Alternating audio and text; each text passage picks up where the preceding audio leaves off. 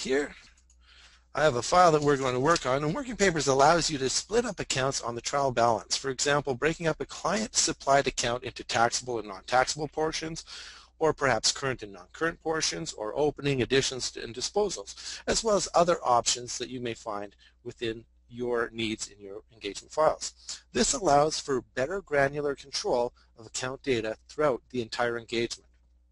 To be notified when a split up account is unbalanced, we select the appropriate option in the Options dialog by selecting Tools, Options, and Advanced.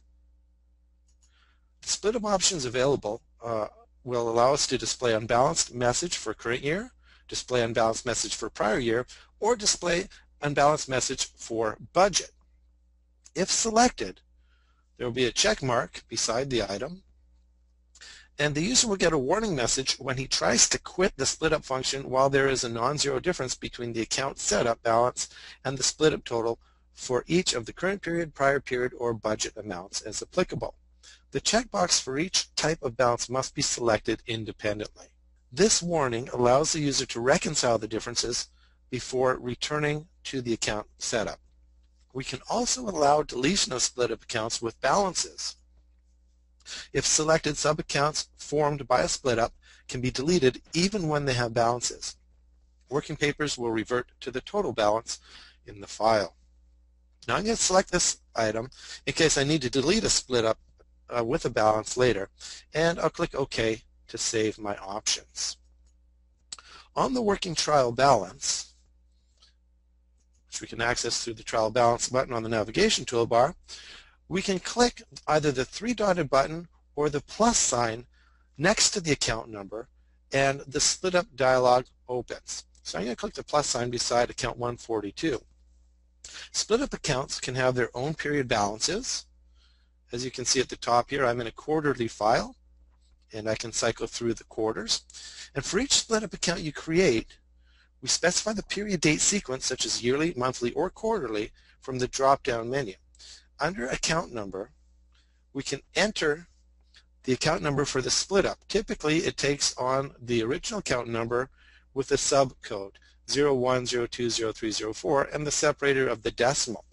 So if the account split up is 142, we could use 142.01 as the account number for the first split up. We also need to enter a descriptive name for the split up account and enter the remaining information for the split up as well. This includes whether the account is locked, if there's a map number or lead sheet associated with it, and then our balances, preliminary adjustments, final for the current year, and then for the four prior years as well. Budget information can also be put in here, as can forecast information. Now, the easiest way to add a new split-up account is to select the next available line and press the Tab key.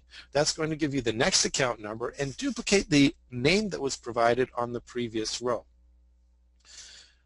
The net balances will also be applied to ensure that the totals of the split ups match the main account balance. Now, I didn't really need that 142.05, so I'm going to delete that row, and it will remove it for me. Before exiting the split up accounts dialog, you want to ensure that the combined balances of the split up total the original balance of the account, if any. So we're looking at the top row and we want to make sure that the bottom row matches that number. And in this situation, you can see that it does. I'm going to click close here. As a result, I get a plus sign beside account 142 indicating that there are split ups associated with it. Now, split up accounts must have the same account properties as the main account. Changing account properties may lead to errors in the amounts displayed through CaseView linkages. Any change to the parent account will not be reflected on automatic documents until the split up accounts are open, so we would have to come back, open the split ups, and close that once again. In the trial balance, if an account does have the plus sign associated with it, we know that it has assigned split ups. If the split ups become unbalanced, the warning symbol is displayed to the left of the account number, and that's this little yellow symbol with the exclamation point. Or if any changes have been made to the file, such as the deletion of an adjusting entry that affect this account, the red circle with the white X warning symbol displays. To clear the symbols, we enter the split up accounts dialog and review the balances. So if I open that up, have a look here, we can see that the way I set this up, it doesn't match the top and bottom balances for all the periods and all of the balances listed. So I would need to either fix that or I can just delete this item so that there's no split up associated with my leasehold improvements and close that. So that removes the plus sign beside leasehold improvements and it does get rid of the warning message. Now with the error message here, that lets me know that something's changed associated with the account. So I absolutely have to go into that item to make sure that my split ups are updated accordingly. The hotkey for getting into the split ups rather than clicking on the plus sign is to press the control shift and S key together on the keyboard. Now split up accounts have their own period balances as I mentioned. For each split up account we create, using the drop down we choose what period that we want the balance to be associated with. In my example, I have account 142. Now, by the way, this particular example does balance top to bottom and across the page. So I'm going to close this, and as a result, the error message goes away. But again, in my example, account 142 has additions of 10,000 in periods 2, 3, and 4 of a quarterly file. So if I go to period 1, first quarter, we can see that I've got all zero balances in the first quarter. Moving to period two, the second quarter, I've got an addition of 10,000 showing in my second quarter for the split at 142.02.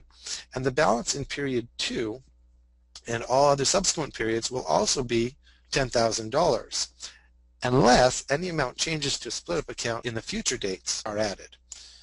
Any amounts changes to split account will affect balances subsequent to that period by adding the difference between the previous and the currently entered balance. In the same example, if you then change period 2 balance to 20,000, all subsequent periods will be 20,000. But period 1 will still be 10,000. If you go back and change period 1's balance to 20,000, then subsequent balances will be 30,000 and so on. The original 20,000 plus 10,000 change in period 1. Now I'm showing you second quarter, which is period 2 addition. If I move to the third quarter, I made a minor change where I put the opening balance from period 2 into the period 3 opening balance. So the additions moved up. I did that manually, and I have another $10,000 in additions in the current quarter. And if I move to the fourth quarter, we can see that I, again, changed that so that I've got the carry forward total from the third quarter in my costs at the beginning of the fourth quarter, plus another 10,000 in the additions in that situation. Because split up accounts have the same properties as a parent, when I open a lead sheet, and I'll just go back to the document manager here, for example, lead sheet NN, for an account with split up accounts, the split up accounts appear in place of the main account as we see here.